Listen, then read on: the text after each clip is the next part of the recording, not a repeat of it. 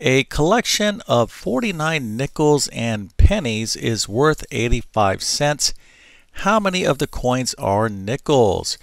All right, so that is the problem. Now, if you think you know the answer, go ahead and put that into the comment section.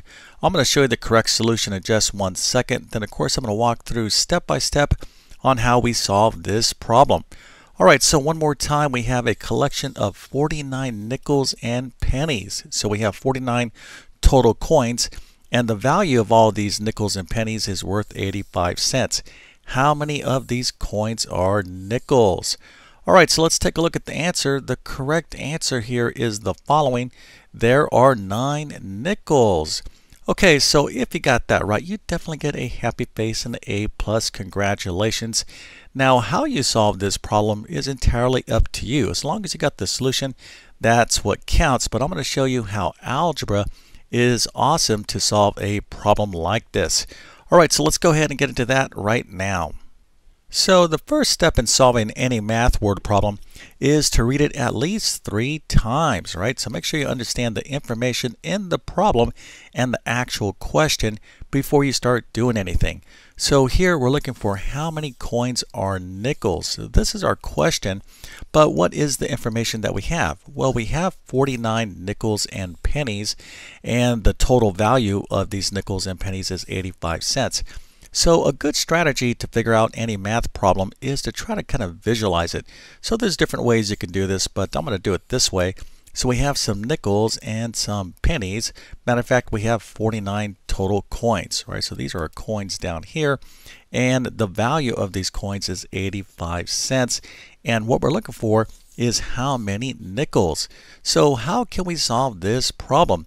Well, a great approach is to use algebra. Now, of course, you could use kind of trial and error and mess around with the value of a nickel and a penny until you get the right answer. But I'm going to use algebra because algebra just makes our life a lot easier when we're looking to solve for an unknown value. All right, so how many coins are nickels? Let's let the variable n represent the number of nickels that we have. Now, a variable in algebra is simply a, a symbol that represents a number, right? So I'm going to say n is going to be our answer, right? That's going to represent how many coins are nickels.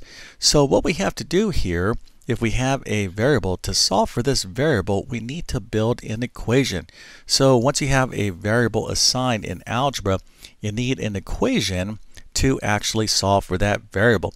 Now here we do have a kind of relationship going on in the problem. So we have to be very careful when we read the words of this problem. And the word that we're interested is right here, is, right? So anytime you see the is symbol, that is the equal sign. All right, so here we have a collection of 40, 49 nickels and pennies that is equal to 85 cents. So we need, really kind of need to think about this. So if n is the number of nickels I have, well, how can we represent represent the number of pennies? Now you might be saying to yourself, well, can we use another variable like p to represent the number of pennies? Well, when you have two variables in uh, an algebraic equation, you actually need two equations to solve a two variable situation, right? So if I have n and p, and I'm trying to solve for n and p, I have two variables here. So I'm going to need to build two equations. So this is what we don't want to do, right? So you might be saying, hey, Mr. YouTube Math Man, I'm a little bit confused. Well, let's think about a way that we can express pennies in terms of nickels.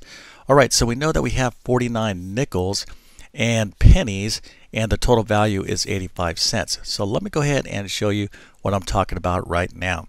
Okay, so again, we're talking about algebra. And if you never solved an algebra word problem, you know, it does take practice, but you're going to see here how nice this setup is going to be to solve this problem. All right, so if we let n equal the number of nickels, and we have 49 total coins. So let's suppose here, here's all my coins, and let's say we have 10 nickels. Well, if we have 10 nickels, how many pennies uh, must there be in all of our coins? Right? Well, it's going to be 49 minus 10 because we have 49 total coins. So if I have n nickels and I want to know how many pennies I have, well, the number of pennies I have is going to be 49, the total number of coins, minus the nickels.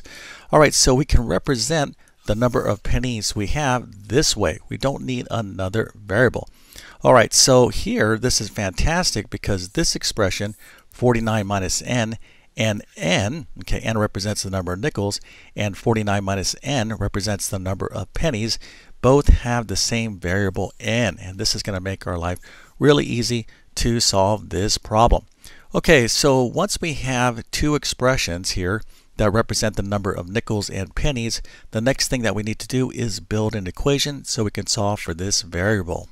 So now that we have two algebraic expressions that represents the number of nickels and pennies that we have, we need to tie in the 85 cents, right? So the number of nickels and pennies, the uh, combined total, of course, is 49 coins, but the value of these coins is 85 cents. So if I have, let's say, two nickels, what's the value of those nickels? Well, it would be 2 times 5 cents. So we need to understand something about nickels. Matter of fact, uh, let me kind of go back up here for those of you that are not familiar with uh, U.S. currency. So when we have coins, right, we have coins and uh, dollar bills, right? So fiat money, here's like a $1 bill. This is uh, worth 100 cents, right, or 100 pennies. But in terms of change in coins, we have, uh, let me go and just quickly run through this. We have a penny, we have a nickel, we have a dime, and then we have a quarter. So a penny is worth one cent, uh, a nickel is worth five cents, a dime is worth 10 cents, and a quarter is worth 25 cents. And this is the symbol right there for cents. And 100 cents gives us one dollar bill.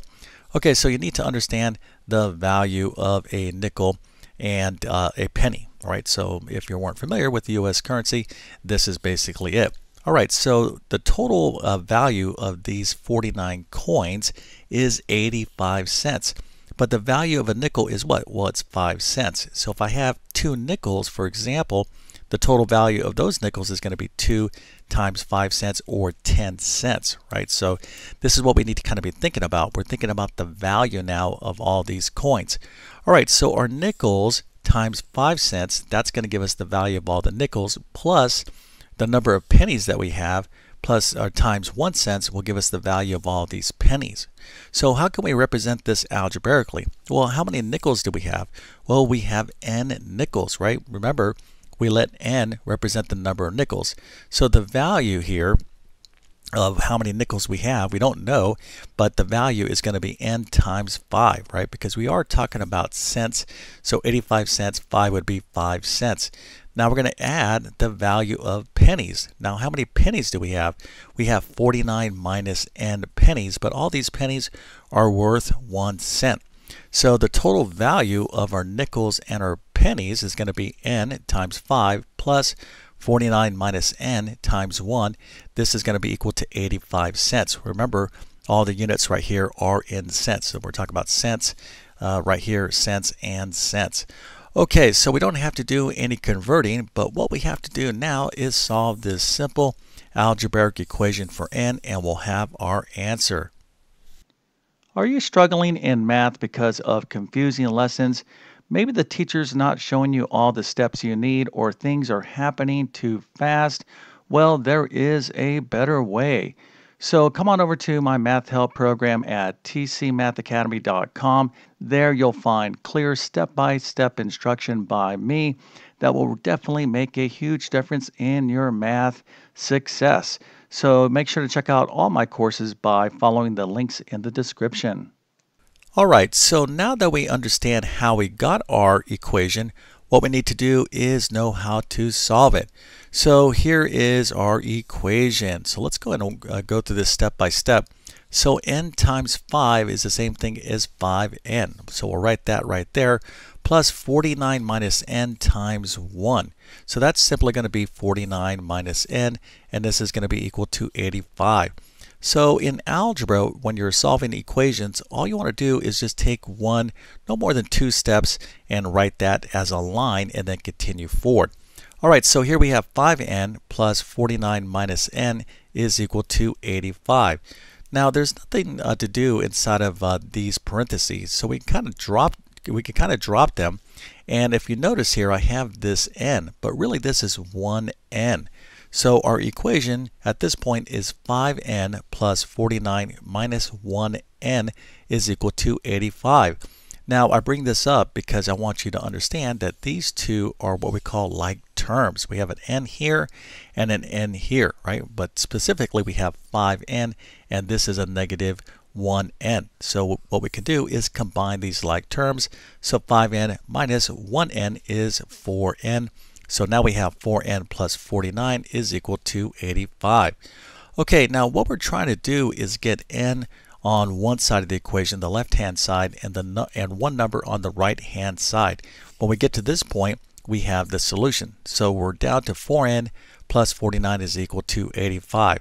So what we need to do now is move this 49 to the other side of the equation. And the way we can do that is simply subtract 49 from both sides of the equation. So in algebra, you can do anything you want to an equation as long as you do it to both sides equally. All right, so now that we're going to subtract 49 from both sides of the equation, we're going to add down in a column manner. So 4n plus nothing is 4n. 49 minus 49 is 0. That goes away and we don't need to write a 0. And 85 minus 49 is 36. Okay, so we're almost there. Again, we're trying to get n equals some number, but now we're down to 4n is equal to 36. So how can we get n all by itself? Easy. All we have to do is divide both sides of the equation by 4. So 4 divided by 4 is 1. So here we have 1n or n. And here we have 36 divided by 4, which is 9. So n is equal to 9. Okay, so that is the solution to this problem. Now, if you used a different approach, that's perfectly fine as long as you understand uh, what you did and you could prove it let's say to a teacher right? So when you're doing math you always want to think about how can you justify your results right? So if you say hey I knew the answer was n was equal to 9 and I said oh how did you do that? How did you get to your conclusion? And if you're like I don't really know I just know that's the answer well you want to think about your steps and your logic Okay, now if you need additional help in math or algebra, a couple quick suggestions. One, I have a ton of videos on my YouTube channel from basic math to advanced math and everything in between. But if you really want to learn from me, you got to check out my full main math courses. You can find links to those in the description of this video. And the kind of level of math that we're doing here is like Algebra 1. So if you're an algebra student, I have pre-algebra, Algebra 1, Algebra 2, etc. Now, if you just want to kind of learn math or relearn math just as a hobby, then check out my Math Skills Rebuilder course. You'll find links to all this in the description of this video. Okay, so with all that being said, I definitely wish you all the best in your math adventures. Thank you for your time and have a great day.